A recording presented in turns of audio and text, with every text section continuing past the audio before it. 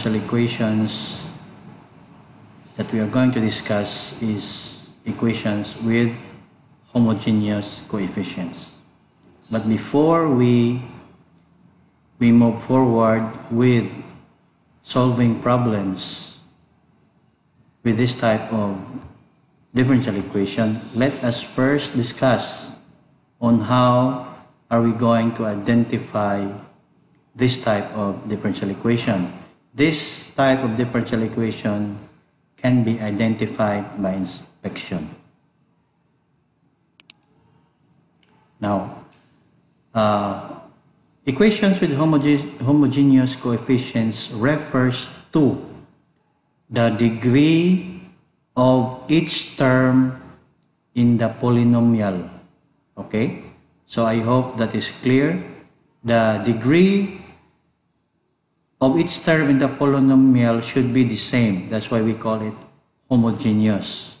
So if we if we look at this first polynomial, which can be seen at uh, page 26 of our of our textbook, you have here x squared minus 3xy plus 4y squared. Now let us go to the degree of each term. Now x squared, the degree of this is 2 because the, the power of x is 2. Now 3xy, the degree of this term is also 2 because x is 1 and y is 1. So all in all, the degree of this term is 2. There is no degree for constants. And then the third term is 4y squared and the degree of this term is also 2. Again, the constants has no degree. Therefore, this polynomial x squared minus 3xy plus 4y squared is homogeneous to the second degree. Okay? I hope that is clear.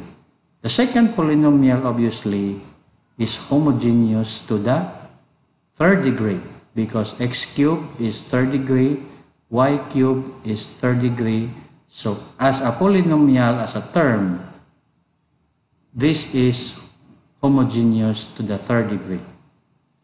The third polynomial is homogeneous to the fifth degree because x to the fourth y is fifth degree because x is 4, y is 1, so all in all, this is fifth degree. And 7y to the fifth is fifth degree because 7 has no degree. Therefore, this polynomial is homogeneous to the fifth degree. So I hope we already know how to determine uh, homogeneity of a particular function. Now let's go to to the exercise in page 27 of our textbook. You are to determine whether or not the function is homogeneous. If it is homogeneous, then you are going to state the degree of the function.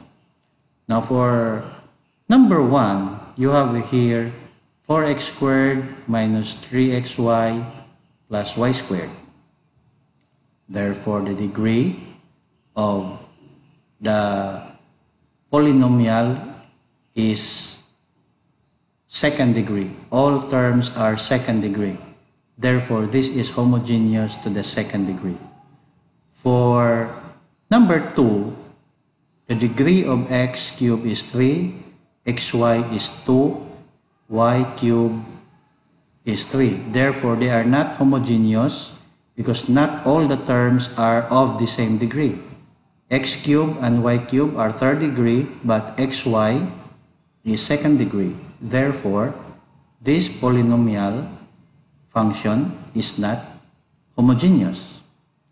Number three, you have 2y plus the square root of quantity x squared plus y squared.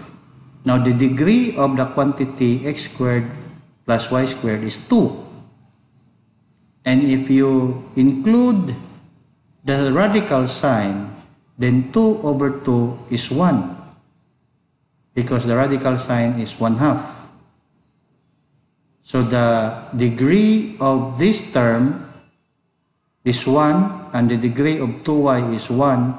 Therefore, this function is homogeneous to the first degree.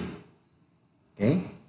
Now, if you have here x square root of x minus y, the degree of x and y is 1. And if you if you include the radical sign which is 1 half, then this single term, the degree of the single term is 1 half.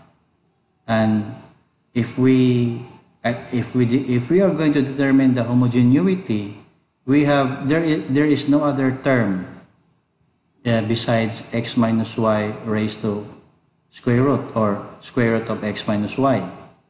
So we will only identify the degree of this term which is 1 half and homogeneity well we can say that x and y is homogeneous to the first degree. Okay?